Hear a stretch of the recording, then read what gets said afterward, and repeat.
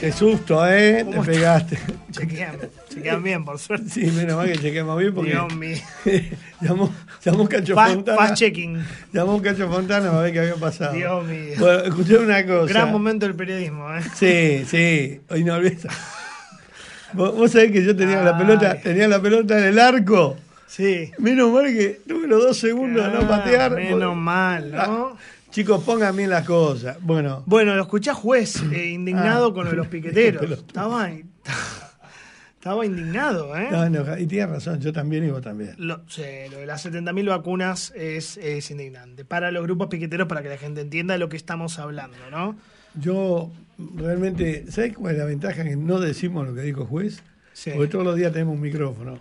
Claro. Entonces lo va alargando en dosis homeopáticas. Exactamente. Pero él tiene un Pero rato te- y la pone. Pero te da bronca, te da bronca. Yo me imagino, bueno, él tiene a la hija con un problema Sí. de discapacidad, ¿no? Es de los que no entienden nada, según Alberto. Cla- bueno, exactamente. ¿entendés? qué bruto, ¿no? Qué, Ahora, qué bruto. si a mí mañana soy Alberto y le digo a Luis, sos una bestia lo que me dijiste. Sí. Y vos sos una bestia lo que le dijiste a mi hija. Claro, claro. ¿Entendés? Eh, pero, y vuelvo. Sí, pero no, no, no salís más de ahí. No, te doy una vuelta más. ¿Tenemos que estar discutiendo esto? Lo de las 70.000 vacunas. No, discutiendo lo de ya llegar a este término de cómo le No. digo que está mal. ¿viste? No, totalmente. Pero bueno, son personal estratégico. Ahí yo lo escuché hoy al, al ministro Arroyo, el ministro de Desarrollo Social, y dijo, no, bueno, los piqueteros son personal estratégico porque reparten la comida en los merenderos. Además te hacen falta cuando volteas un presidente que no es tuyo, Claro, como Macri. totalmente. Son esenciales. ¿Vos sabés que ahí sí? Son- es un personal esencial para vos, sí, totalmente. ¿Entendés? Para armar quilombo es personal Eh, esencial. Cuando llevaron el helicóptero amarillo a los Sí. tres meses de Macri, Cuando tiraban las piedras, aquel Ah. diciembre de 2017, era personal estratégico. cuando claramente. tiraron las bengalas, el gordo que tiraba las bengalas. Sí, sí, el mortero. ¿quién- cuánto, ¿Cuánto tipo podés conseguir en el mundo? No, esos son esenciales. Que esos con son necesarios para la democracia. Eh, ¿entendés? O para lo contrario de la democracia. Para, lo que, para, Sí. el, para el gobierno que quieras voltear, esa gente esencial. Pero ¿sabés lo que yo pensaba que te quería, lo quería charlar con vos? ¿Qué recibirá la gente de este país, no? Porque si cortás la calle te dan una vacuna. Si robás o matás, vas preso un rato y después salís. Porque no vas preso, ¿viste? Te- Te liberan por COVID. Si tomás un terreno, te daban un subsidio, creo que no te lo dan más ahora, de 50 mil pesos por mes.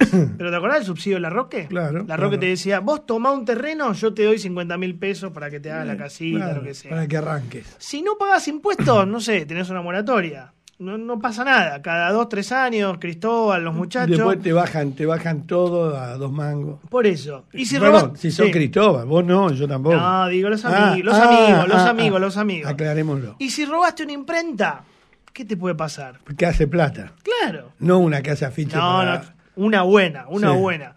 No vas preso. No. Y te dan una pensión por 400 mil pesos por mes. Entonces, en este país, si robás o cortás la calle o haces macana, la haces por izquierda, te va bien.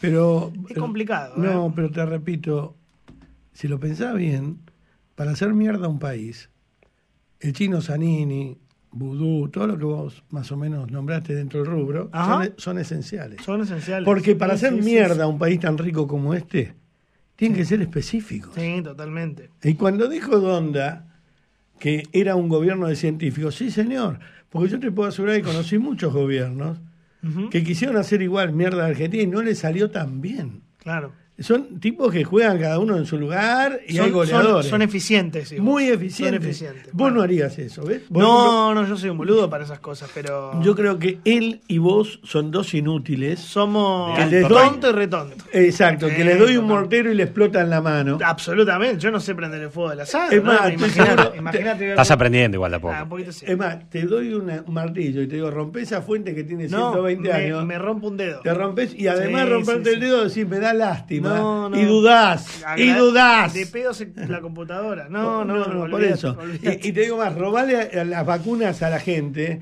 Sí. Y vos decís, bueno, todas no, ¿para qué quiero robar 80.000 vacunas? No, vamos. Me quedo con dos, tres. Hay que hacer fuerte el robo. ¿Te das cuenta No, que son el, el- robo en el medio no va. O robás bien o no robás. ¿Vos sabés lo que es ser cirujano? Vos tenés que abrir un cuerpo.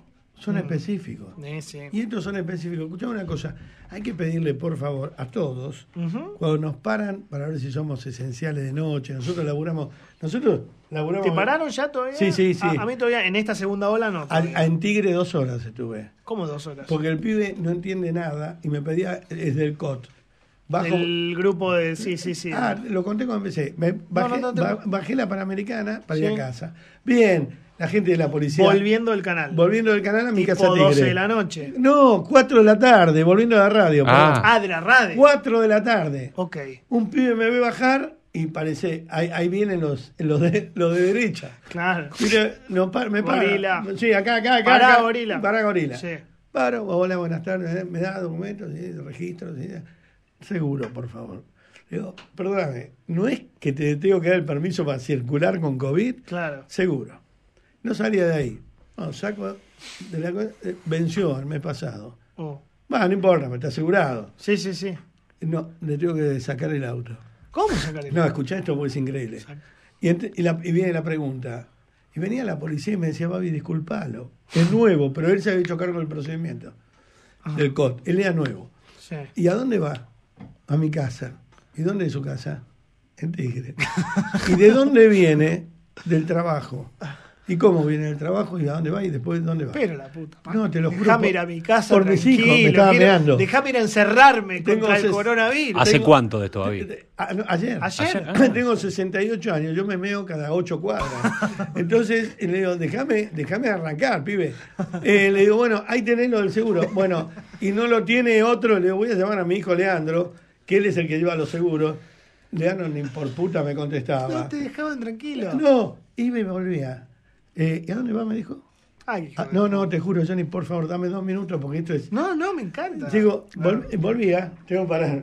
Volvía, con- así, con el registro en la mano. Sí. Y la policía le decía, es Babi, vive acá, es vecino. Eh, ¿Por qué es vecino? ¿Vive acá? Oh, ¡Te juro!